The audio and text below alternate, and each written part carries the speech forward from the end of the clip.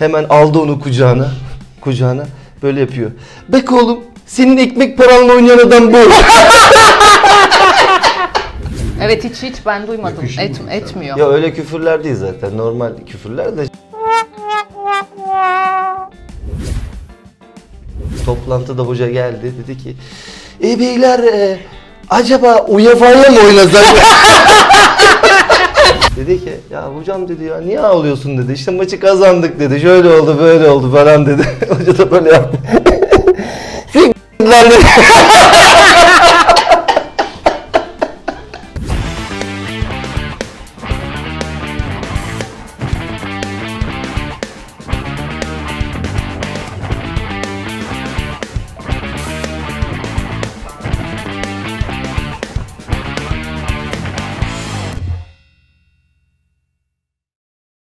Artık ben girmeyeyim Yılmaz abi. Sen direkt YouTuber oldun yani. Müdürü oldum da ama senin Ol. yardımcısın olmadı. Ya teşekkür ederim. Yılmaz Vural'ın YouTube kanalına hoş geldiniz. Canım benim. Kanalımıza hoş geldiniz. Ve Sinan'ımla birlikte devam edelim. Evet. Hikayeler yarım kaldı. İşkence yapmadan anlat. Bu en son taklit yaparken yakalandığında ne yaptınız? Şimdi tabii ben çok şaşırdım. Biraz da korktum. Şimdi bir takımın teknik direktörün taklidini yapıyorsunuz ve basılıyorsunuz yani. yani. ya biraz o ama hoca tabii çok hoşgörülü. Çok insancı bir insan. Yani gerçekten böyle e, yaklaşımı falan bize karşı her zaman çok iyiydi. Ya küfür ettiği zaman bile kızmıyorduk yani öyle diyeyim yani. Evet onu çok duyuyorum. Yani küfürleri Aynen. bile batmıyor. O kadar Aynen. sempatik. Aynen. Kötü taraflarından bahsetmeyin. O- Hiç küfür öyle küfür. evet hiç hiç ben duymadım. Yakışır Et, mı etmiyor. Ya öyle küfürler değil zaten. Normal küfürler de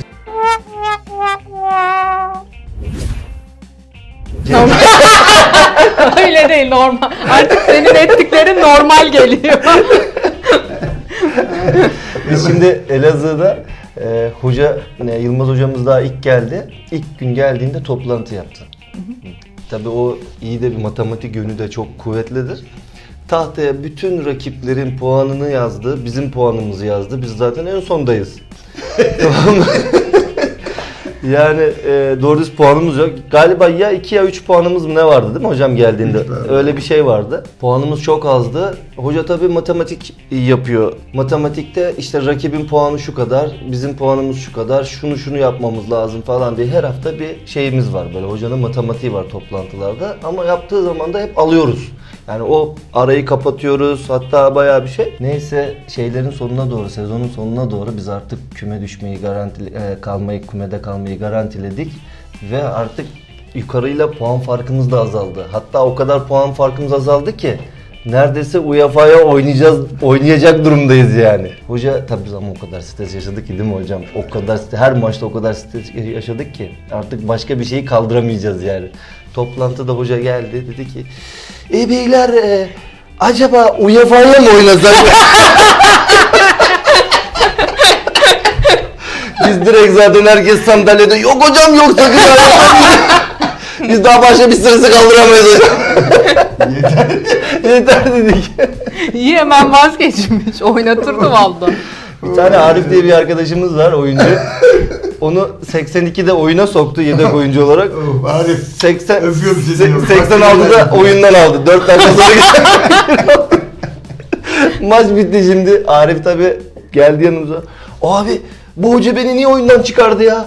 Ben bunu kaldıramam. Gideceğim hocayla konuşacağım. Hocaya hesap soracağım. Masaya vuracağım yumruğumu. Yok biz dedik ki hoca oğlum gitme. Hani hocanın haklı bir yönleri vardır mutlaka yani. Şey olabilir. Hani sana bir açıklaması olabilir. Yok abi hiçbir açıklamayı kabul etmiyorum. Bu kadar ben gemileri yaktım artık dedi. Neyse hocanın yanına gitti. 15 dakika sonra geldi. Ne oldu oğlum dedik. "Ee, hoca haklıymış abi. Barcelona başkanıyla otursun bir yemek yesin. Ertesi gün Barcelona hocası olur. Yine aklıma gelen Malatya Spor'da yardımcı hocayım. Ee, Özkan abiyle işte yollar ayrıldı. Ben devam ettim ve böyle bir işte Türkiye ki burası geriye kalan 10 maçın takım 8'ini kazandı. Bir kaybetti bir berabere kaldı ve beni Türkiye'nin en iyi antrenörü seçtiler. Yardımcı hocayken. Milliyet Gazetesi. işte o yılın antrenör olayları var ya. Ve ertesi senesi e, tabii ki biz geçici olarak geldiğimiz için e, başka bir antrenör gelecek ve Özkan abiyle devam edecekler. Asperkader işte yöneticilerle bir odada beraberiz. İşte konuşuyorlar. Hoca ne oldu, nasıl oldu falan. Ben de daha gencecik adamım, 33 yaşındayım. Benden büyük oyuncular var yani. Dediler ki, e, hoca seçeceğiz, sen ne dersin? Biz burada varız, ne hocası seçiyorsunuz? Yani antrenör olmamın nedeni. Oradan çağrışım yaptı. Turan Çelik Bey kulakları çınlasın. Oturduk konuşuyoruz derken e, bir dakika dedi. E dedi sen dedi geldin tamam kazandın ama oyuncular dedi hocaya kızdılar. Kendileri oynadılar. Dolayısıyla da sen ya kardeşim 10 hafta bu. iki buçuk ay yapar. Hadi bir kızdılar. Öbür hafta kızgınlık. Üç, üç hafta kızgınlık. Hiçbir bizim katkımız yok dedi. İyi dediler o zaman ne oluyor? Söyle. Dedim ya başka kaç doğumlusun sen? 59 doğumluyum dedi. E dedim ben 53 doğumluyum. Sen 59 doğumlu Türkiye'nin en önemli iş adamı olmuşsun da ben 53 doğumluyla Türkiye'nin en iyi teknik direktörü evet. olamam mı dedim. Ya teknik direktörlük iş adamı olmaktan daha mı önemli bir şey dedim. Yok dedi. Ondan sonra. Peki dedim sen o zaman karar veremiyor musun bu takımın teknik direktörü sensin bana diyemiyor musun dedim. Sensin. Ve ben böyle anladım.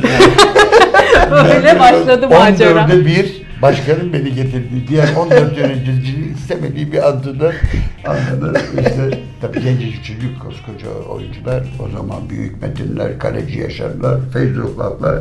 Hakikaten bela bir takımdı yani. İdare edilmiş zor bir takımdı.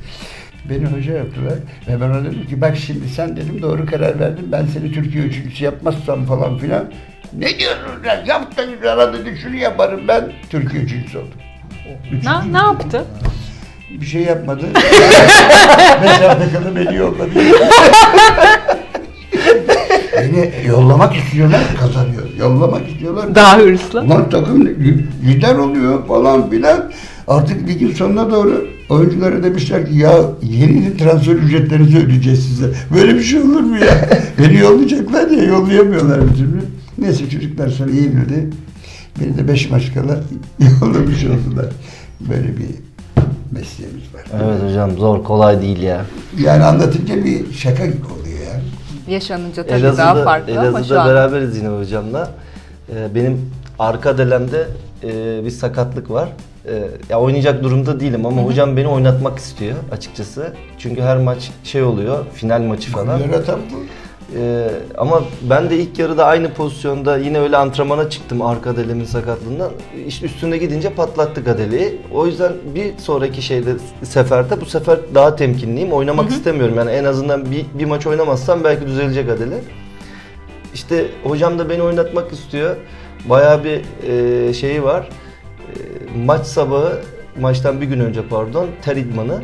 Bir, bana dedi ki Sinan şu durumuna bir bak ya dedi. Ondan sonra tamam hocam bakayım dedim ben. İşte şey yapıyorum, koşu yapıyorum, normal düz koşu yapıyorum. Durumuma bakacağım. Hoca da beni izliyor tabii kenardan.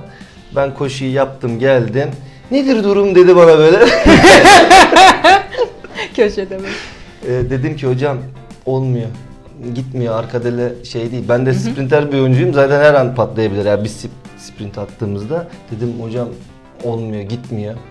Hocanın tepkisi aynen şöyle. O sırada küçük Yılmaz yanında çocuğu. O zaman biraz daha küçüktü ya. Hocam yani. Hemen aldı onu kucağına. Kucağına. Böyle yapıyor. Bek oğlum senin ekmek paranla oynayan adam bu.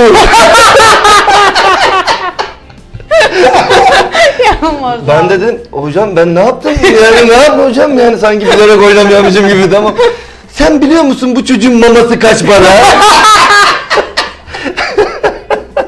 Bu çocuğun kıyafetleri kaç para sen biliyor musun? Ama ondan sonraki hafta Karabük'te oynuyoruz. Çıktı mı mama parası? Biz her takımı yenmemiz gerekiyor. Ve Sinan'ın son dakikada attığı bir golle maçı. Ama Allah. bir gol attı kime vereni gol olmaz. Nasıl artık içine Gol- işlediyse o sahne çok Türk filmi ama gibi. kimse golü konuşmuyordu. Sinan'ın gol hemen Kimse golü konuşmuyordu. Haftanın golü seçildi ağzına ama kimse golü konuşmuyordu çünkü hocam maç bitince bir depar attı. Yedek kulübesinden bırakın Karabüğü Amasya'ya kadar koşuyor. Şu anda. Şu anda depar atıyor Yılmaz Vural ve 3 puan Karabük deplasmanında. Sanika Boru Elazığ Spor 3 puanla dönüyor evine. Çünkü ben maç bitti sandım. Çünkü gol atınca maç bit- bitti sandım. Senin için bitti, maç oynanıyor. Ulan bir baktık ki Statta koşuyor. İşin ilginç tarafı soyunma odasında hocam ağlıyor. Ya bu söyleyeceğimi lütfen bipleyin. Ben söyleyeyim. Bipleyin. Hoca böyle yaptı soyunma odasında. Tabii hani böyle stresten ağlıyor. Bizim arkadaş da yanına gitti Aydın Karabulut.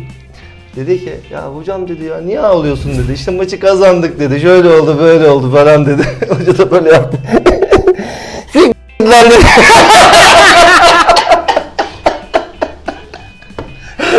Öyle ya. Bu Aydın belaydı ya. Niye korktun? Ama çok iyi oynadı. İyi oyuncuydu. Ay, Aydın ay. Hocam şey hatırlıyor musun? Aydın O- şimdi o- nerede?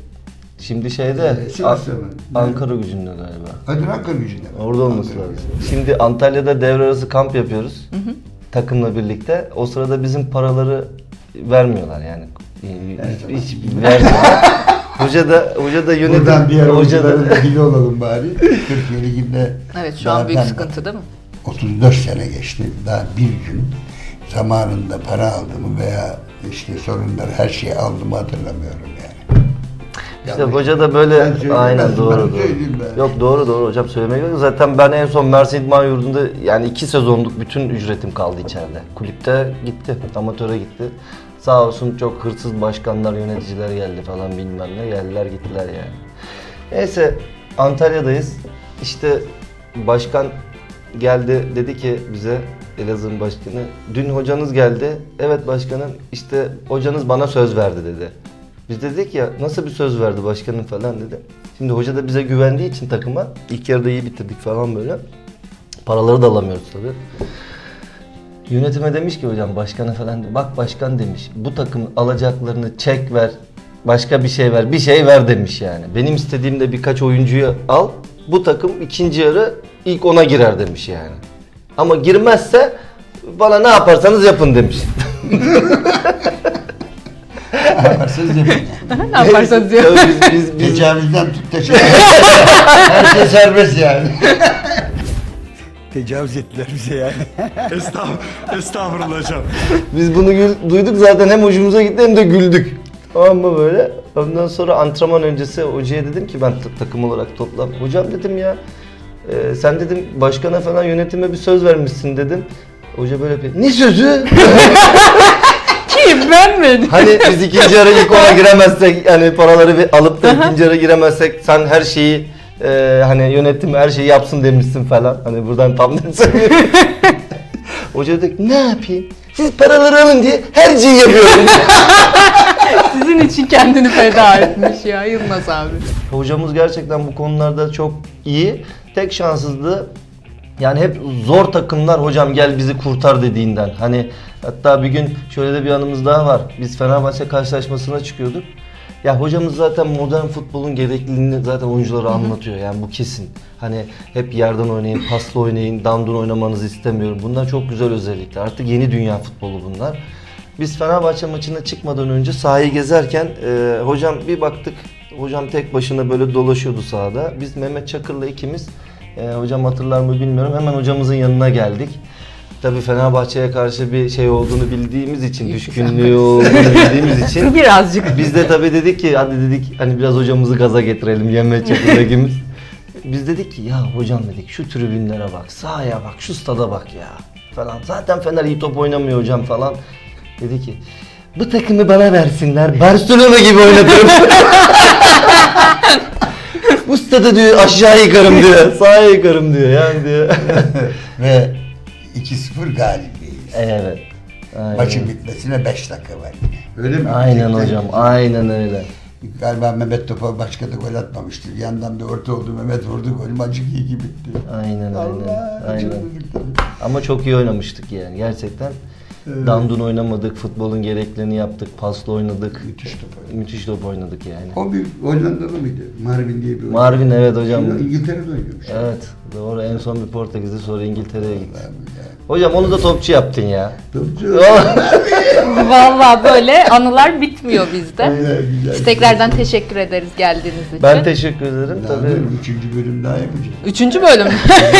ben diyorum yakaladı mı bırakmıyor. Derken ciddi boyuta gittik, ağlama boyutuna girdik. Ya hayır o bu boyutlar YouTube'da gitmiyor Yılmaz abi. İyi hadi bugün bunu Onu ciddi başka böyle oturup başka Sevgilerden çok sıkmayalım. Evet. Konuyu kapatalım bugün. teşekkür ediyorum. Hoşçakalın.